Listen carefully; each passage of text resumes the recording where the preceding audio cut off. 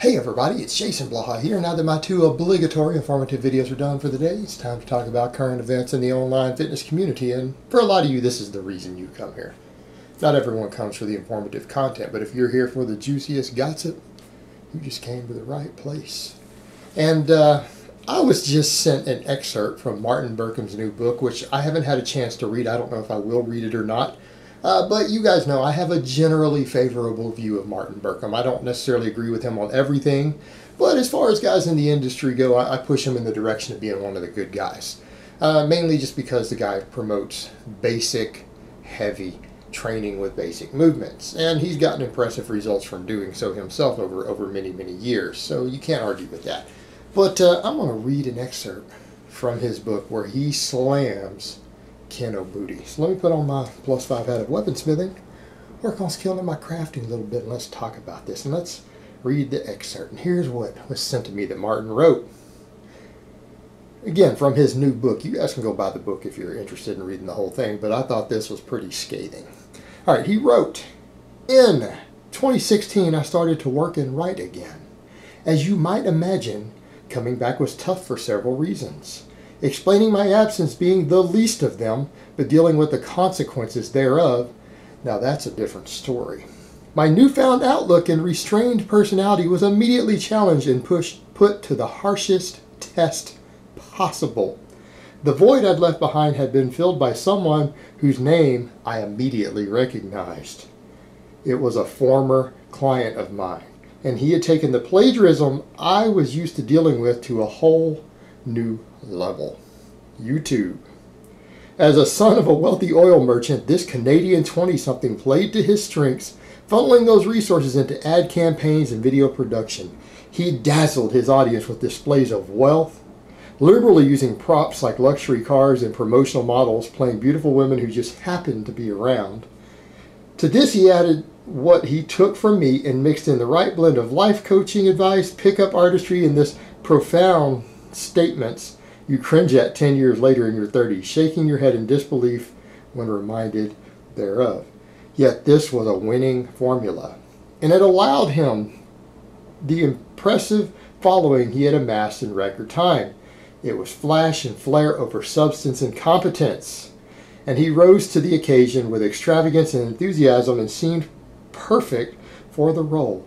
It was hard to deny that the kid had a knack for marketing, whereas I had little. While it came at the price of competence, those watching his silly antics didn't know because he certainly knew his audience well enough to lead his insecure peers where he wanted them, without exceptions in one of the sales pages for his overpriced PDFs.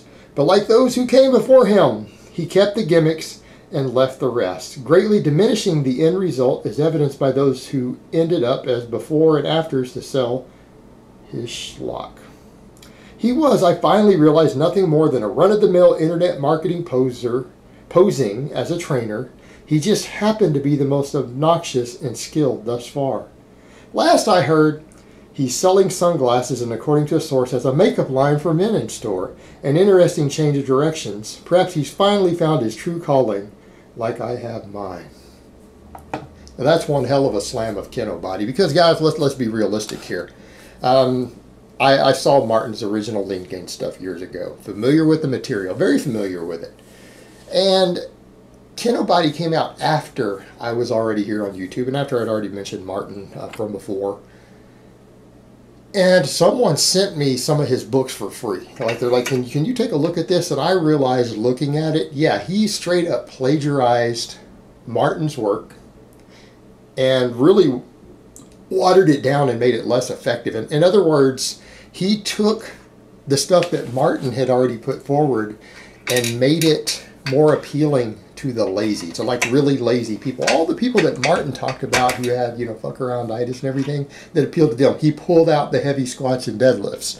Um, and if, I, if my understanding was correct, I think Martin got pretty infuriated about that because Martin and I hold the same view of squats and deadlifts. If you really want to be big and strong, if you want to maximize your potential uh, completely drug free squats and deadlifts really shouldn't be optional exercises. They really shouldn't.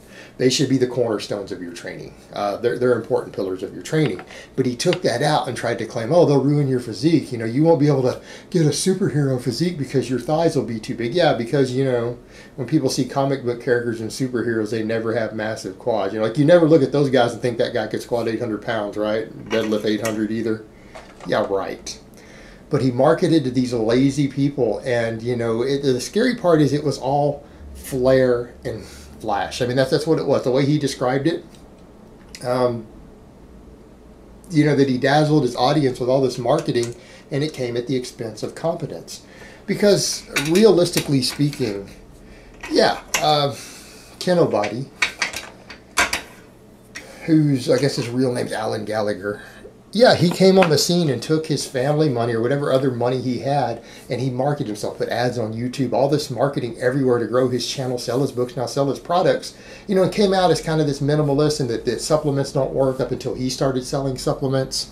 Um, you know, pulled all this nonsense, and then it turns out that when you watch him, he has no strength other than upper, upper body strength. Like he would say, "Oh, well, you just do this little bit of stuff for your legs," and it turns out he can barely, he can't even front squat 300 pounds after a decade or more of training, he went to do deadlifts. He could only deadlift 405.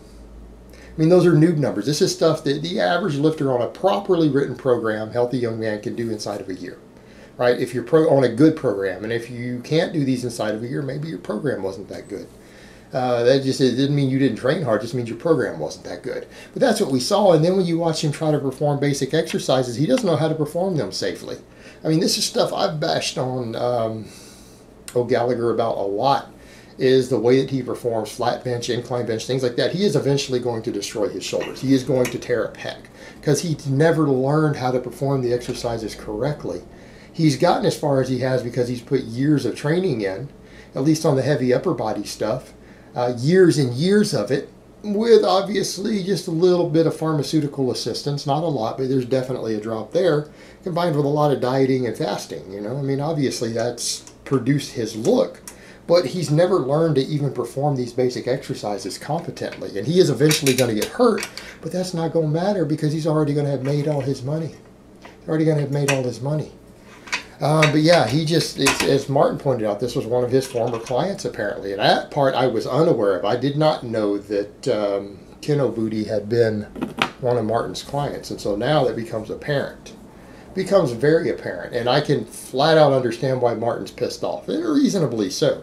The guy basically stole his stuff, uh, ran with it, and uh, made a ton of money doing so, but he did so while destroying the main quality of the work, and his guys don't really get good results. I'm sorry, but uh, almost none of his real before and afters. You look at his followers; these guys aren't big and strong.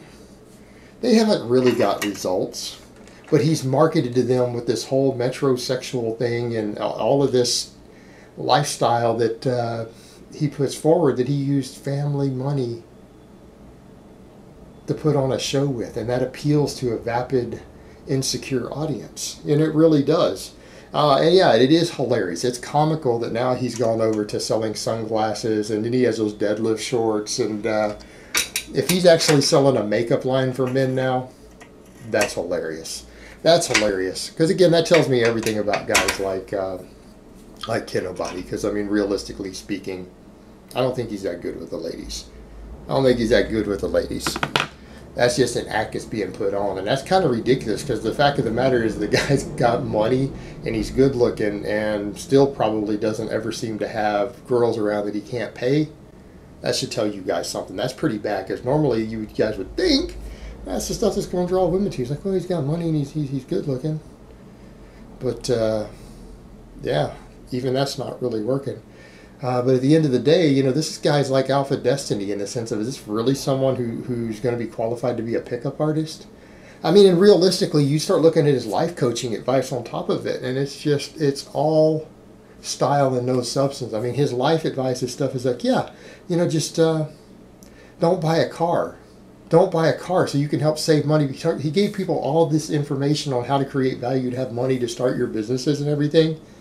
And all of it fell back to what he did and he could get away with because he had family who had stuff. It was like, Oh yeah, I mean, you know, don't buy food. Just just get food from your family. You know, you don't need to buy food. But it's like he comes from a wealthy family that has a live-in chef who can prepare his meals for him. You know, and it's like, yeah, you don't go don't go buy a car. Just use you know what your family has available for you. You know, or use whatever. And it's like, well, his family has cars. They have money. He's living in his mom's mansion. I mean, the absurdity of it. Like his advice is not useful for other people. Uh, it's just crazy. And ultimately, yeah, that's what he did. He stole Martin's work and then took some of the best parts out of it because, oh man, that's too effective and that's too hard. And I don't want to have to do this stuff myself because he wants to be kind of lazy and not squat and deadlift. You know, gets, goes around doing dumbbell, one legged pistol squats and really thinks that's training. Really thinks that's going to make him strong and get results. That doesn't, guys. Just because it's a balancing act and it's hard to balance doesn't mean that you're getting a good training response because you're not. You're going to stay small and weak in your lower body doing that. Uh, but yeah, just ridiculousness. At the end of the day, when it turns out he's not even competent enough to teach basic exercises, like he doesn't actually know how to perform any of the basic lifts safely and correctly, and the only reason he's pretty strong at pressing is years and years of doing presses with a little bit of pharmaceutical help. That's it. That's his magic secret. But he's eventually going to get hurt because he never even bothered how to, to learn how to perform those exercises. So yeah, I can appreciate uh, Martin's perspective here because some of this I wasn't fully aware of in the situation, and now I am. Um, and now that he's put that in his book, that's there for all of us to see.